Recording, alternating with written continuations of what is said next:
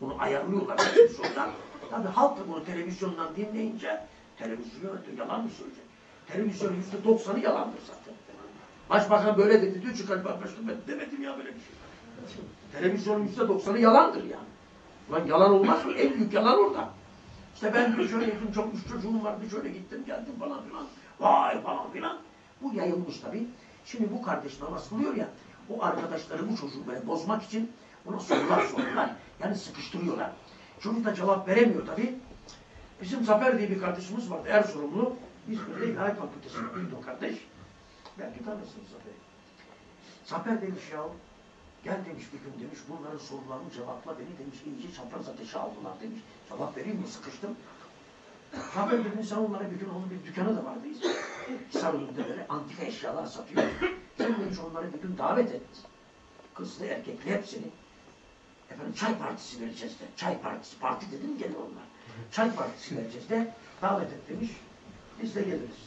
Zafer bana dedi abi beraber gidelim dedi. Gittik. Tabii onlar oldu. Ben iki üç tane sanatçım. Ben otuz tane var. Gelmişler hepsi kokolar, erkekler falan. Kadın daha çok.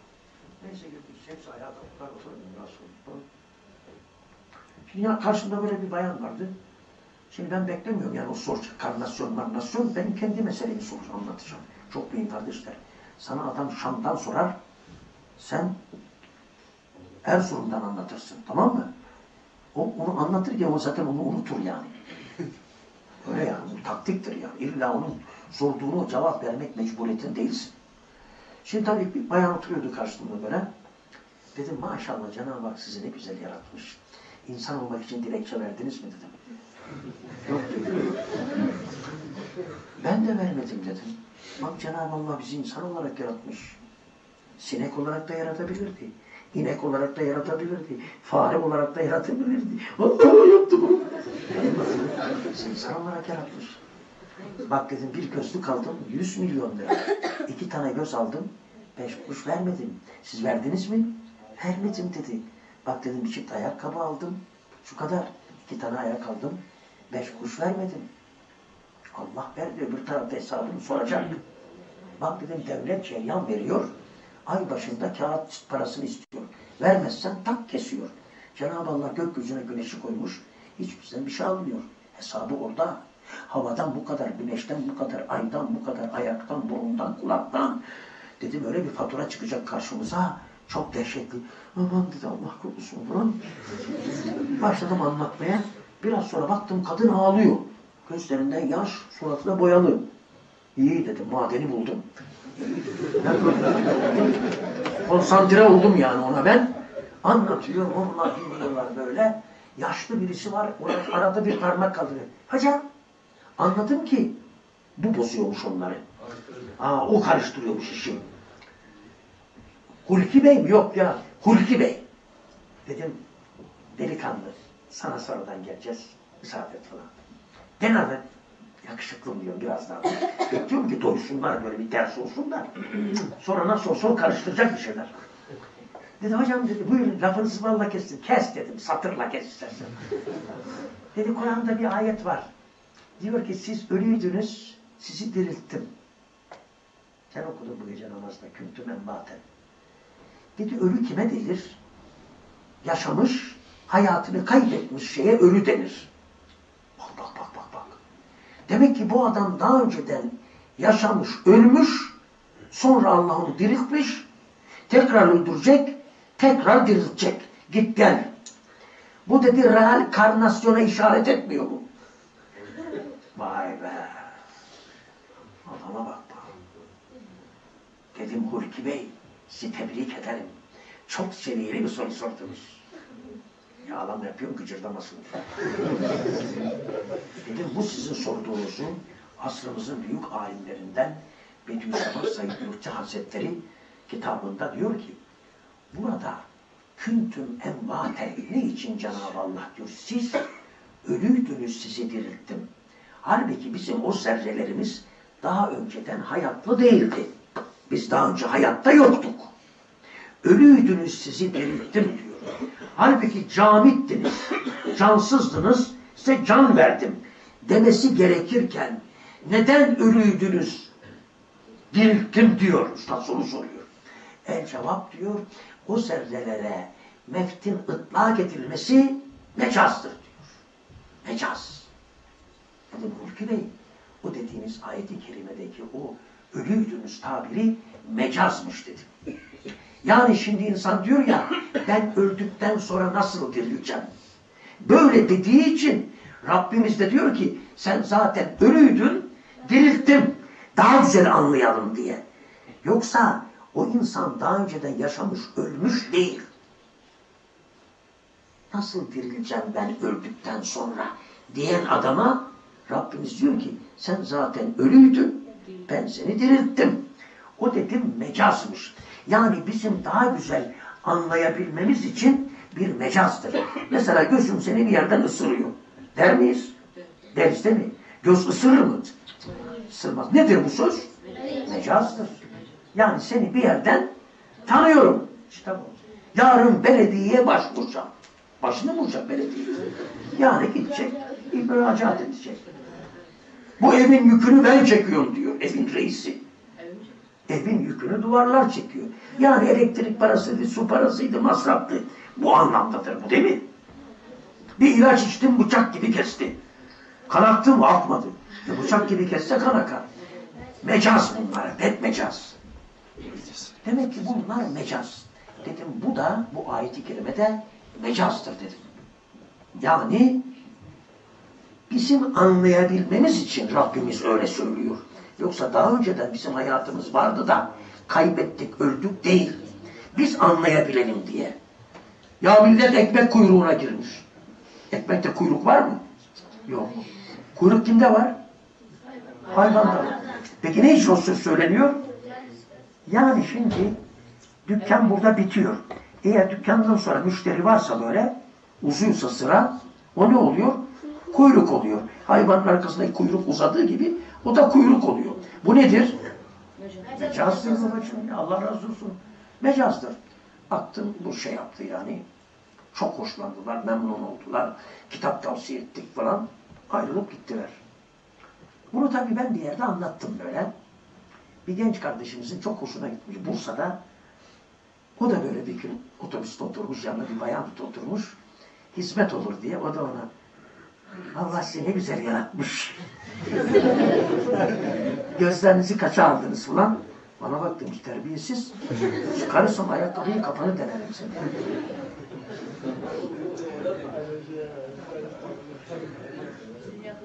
Ya şimdi bak değil mi yani herkes her şeyi söyleyebilir mi? Söyleyemez. Bak ne diyor üstadımız? Mütekellim, muhatap, makam, maksat. Şimdi biz orada hoca makamında gittik oraya. Onlar zaten bekliyorlar hocayı. Evvela hoca makamından gitti. Sonra ben yaşlı bir insanım. Bir de orada kalabalık bir grup var. Bir de aniden söyledim. Şimdi ben de kalksam bu yaştan orada ona söyledim. Ne güzel beğendi. Aynısını otobüste başka bir kadına söylesem. Ulan ihtiyar der utanmıyor musun sen? Yaşlı yaşlı. Demez mi? Der. Demek ki her şey her yerde söylenmez. Zaman olacak. Değil mi kardeşim? Aferin. Seni tebrik ederim. Zaman, makam, mekan bunlar hep birbirine uygun olacak. O kardeşimiz de böyle yapmış. Bana da geçenlerde söylemiyor.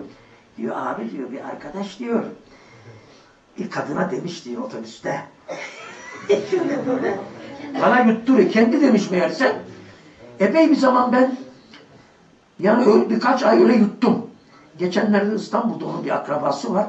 Dedim ya Zafer anlattı. Abi kendisi o yapmıştır dedi. Yapma ya. O şeyler öyle şeyler yapar dedi. Geçen dedim lan Zafer sen mi söyledin? Maalesef abi dedi.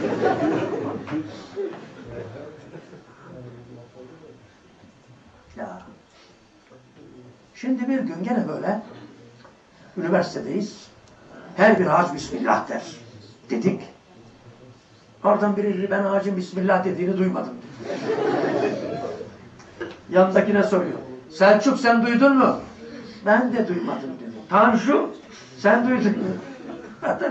Bakalım dedi daha neler duyacağız falan. Dedi beyefendi Bismillah diyen duyan yok. Sen dedi hayali bir şeyden mi bahsediyorsun?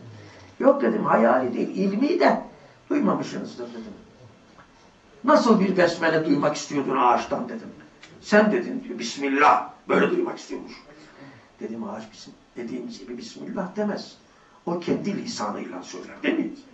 Değil mi ya? Şimdi insanın konuşması başka, kedinin konuşması başka, köpeğin konuşması başka, keçinin konuşması başka, kuşun konuşması başka, garganın konuşması başka, merkebin konuşması başka, ineğin konuşması başka. Değil mi? Mesela bir çocuğun karnı acıksa, anne karnım acık der, annesi bir dakika evladım, bir dilim ekmek keser, bir de tereyağı sürer. Adın ne senin? Emre, al Emre'yi ye bunu oğlum, biraz sonra gelelim. E şimdi kedinin yavru acıksa, yavrusu acıksa, anne karnım acıktı der mi? Ne der? Miyav der. Annesi de yatar emzir onu. Aa demek ki her canlı, her cins kendi lisanıyla konuşuyor. Dedim ağaç da kendi lisanıyla konuşuyor. Deyince baktı mantıklı. Bir adım attı ileri doğru. Nasıl konuşuyormuş dedi. Tamam. Dedim ki kardeş ağaç su içer mi? İçer. İnek su içer mi? İnsan su içer mi? İçer. Ha, başka başka ya. Ağacın dibine döküyorsun, içiyor. Öbürü de kovayı götürüyorsun, kafayı daldırıp içiyor değil mi? E siz isteseniz herhalde kovayla getirmeyiz. Ya ben öküz müyüm dersin. Sana da bardakla getiririz. Onun için dedim, su içişimiz değişik olduğuna göre Bismillah deyişimizde başka başka olacaktır. Baktı mantıklı. Nasıl diyormuş dedi falan. Tabii ben uzun biraz anlattım. Dedim mesela dedim, güneş dedim ne yapar? Yakar dedi çıktık güneşe hepimiz soyunsak şimdi. Hatır için hiçbirimizi yeşertir mi? Hepimizi kıpkırmızı yapar sonra da kapkara oluruz değil mi? Ya bu adam doktordur veya bu hocadır veya bu alimdir. Ben bunu sarartayım demez hepimizi karartır. Ama güneş bahçeye vuruyor. Domatı kızartıyor. Patlıcanı morartıyor. Limonu sarartıyor. Salatalığı yeşertiyor. Demek ki bu iş güneşin işi değil. Allah'ın işi ya. Demek ki Cenab-ı Allah nasıl bir renk vermeyi murat buyuruyorsa o rengi veriyor. Bu iş güneşin. De değil. Suyu döküyoruz. Aynı su kavuna da gidiyor. Acı bibere de gidiyor.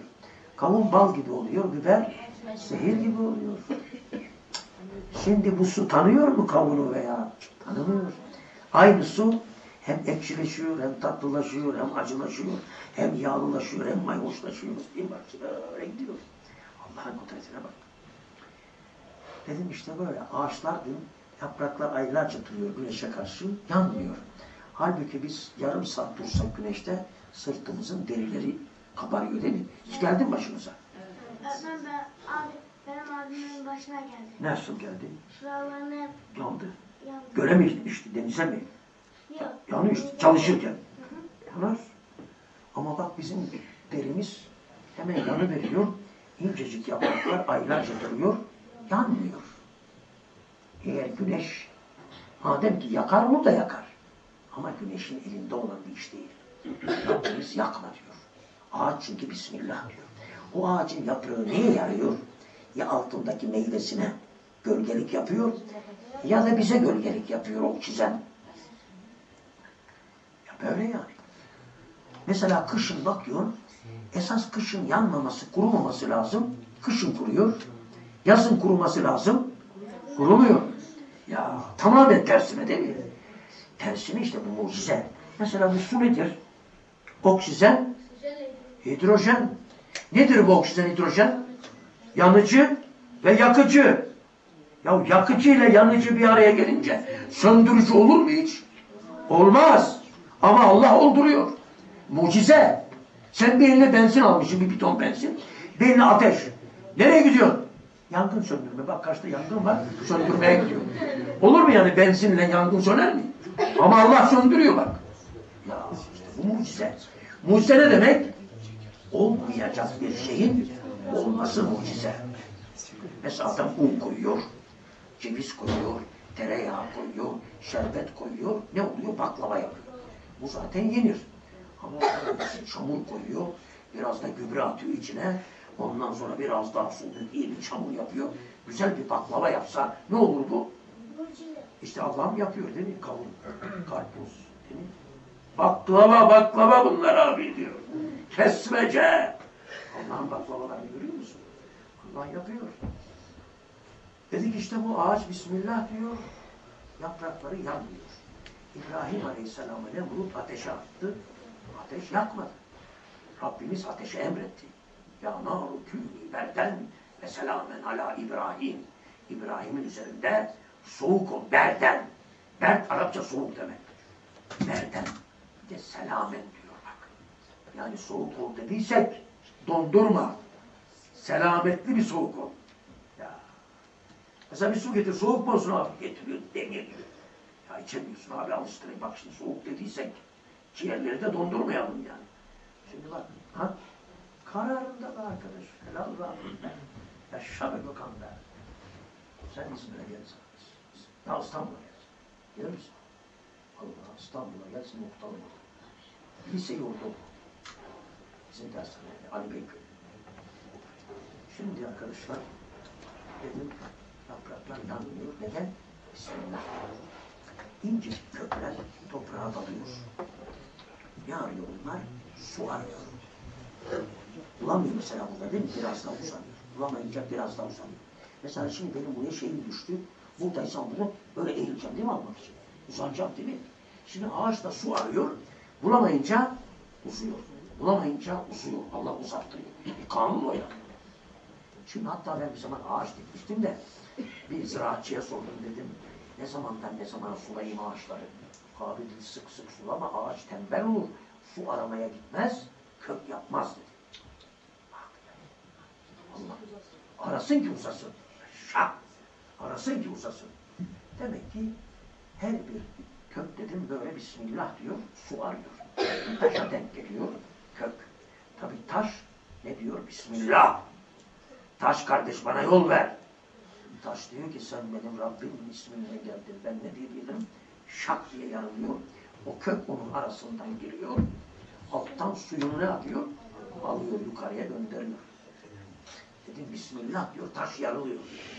Böyle yap. Bu dedi ilmi Dikon Efendi dedi.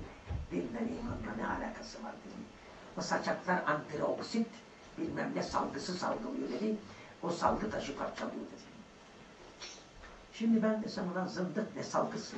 Allah yarattı desem gene o kazanacak. Biz kaybedeceğiz. Var böyle bir salgı. Dedim tabii kardeşim bir salgı var. Salgı olmadan olmaz. Bizde de var salgı dedim. Bizim ağzımızda salgı yok mu? Ne salgısı? Ekmek salgısı, börek salgısı, lahmacun salgısı, gevrek salgısı. Öküzde salgı var mı?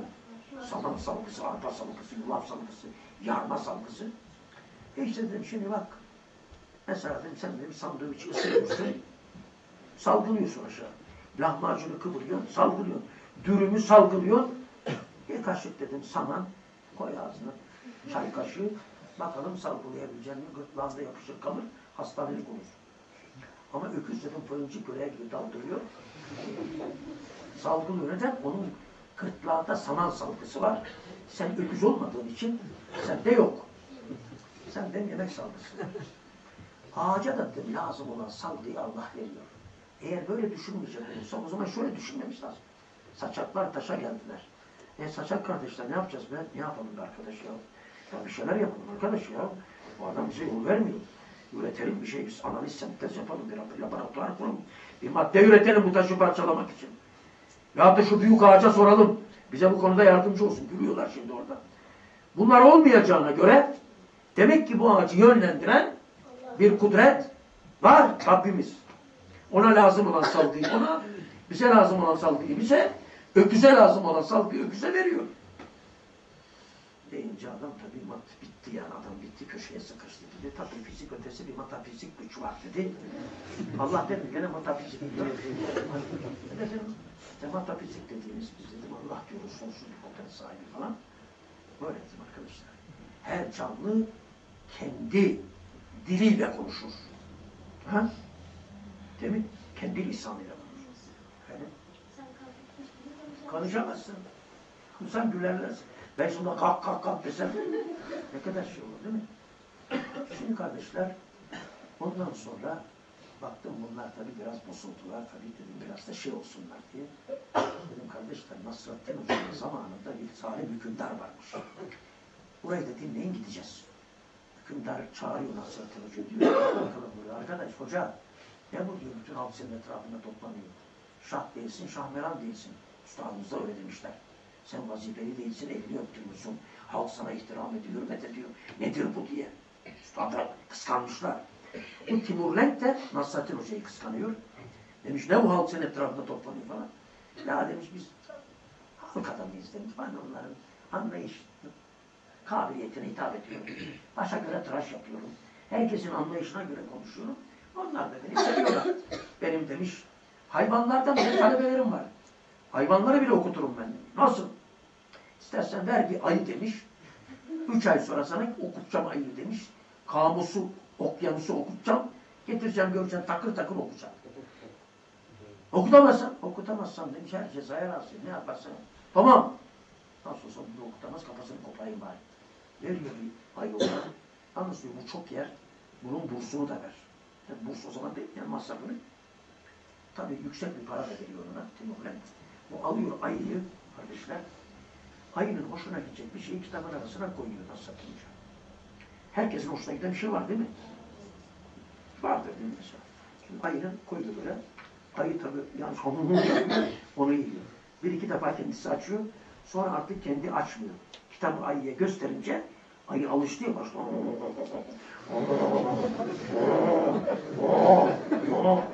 böyle hem homurduyor hem onu arıyor. Bunu ya alıyor, bunu ya alıyor. Kitapta kamus da kocaman yapraklar lahana gibi. Tabii son günü bir şey koymuyor artık. İmtihana götürecek. İşte bu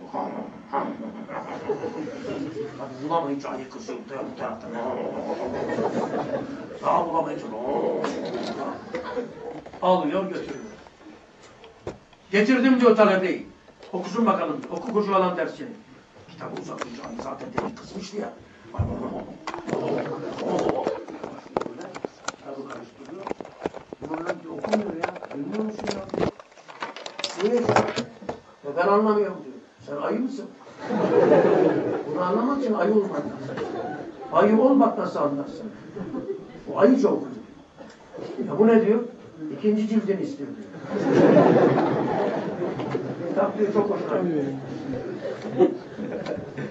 Vallahi Bak dedi yani.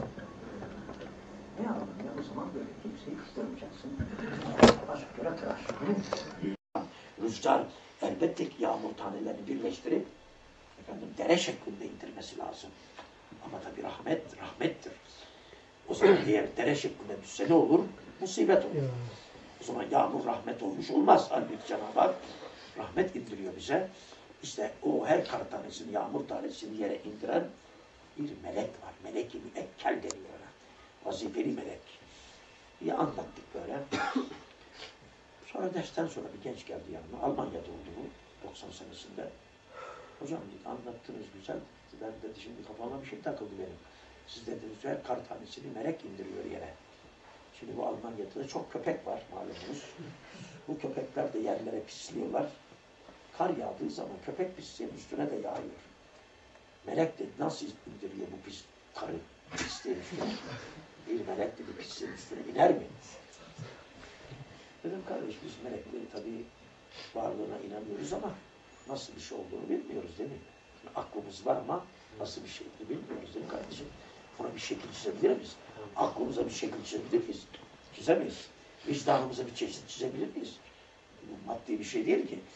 Melekler dedim manevi bir güçtür. Onu, onu bir kelebek gibi veya bir çekirge gibi veya bir serçe gibi düşünmeyeceksin dedim buna. Sonra aklıma geldi. Melekler akıllıdır. Pisliği tanırlar dedim onlar. Bir santim kala dedim merak ettim. bir santim kala bırakır dedim. Pisliğe basmaz. Teşekkür hocam dedi. Basmaması lazım.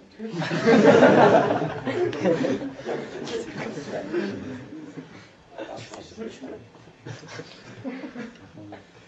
Söylüyorum. Herkes bir şey söylüyor.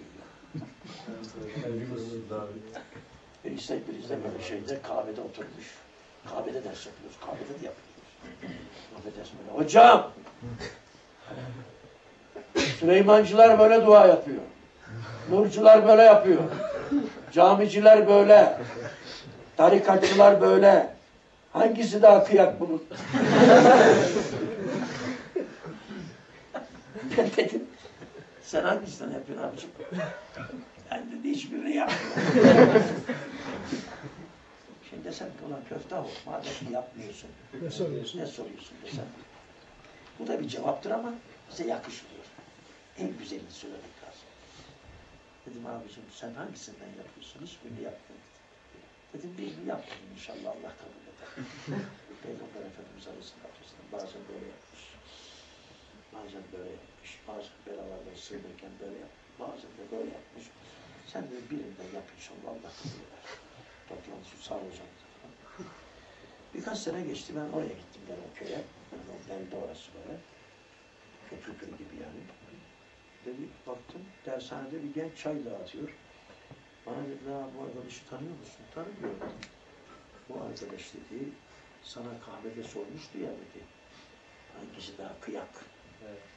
Bak Bu arkadaşımız çünkü beş vakit namaz kılıyor.